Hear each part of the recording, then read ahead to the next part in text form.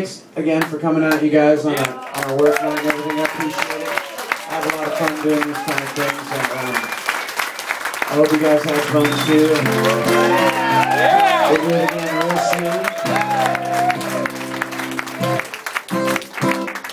Uh, and I will I'll try and remember some songs better. Okay you know, I had yeah. Uh, thanks a lot.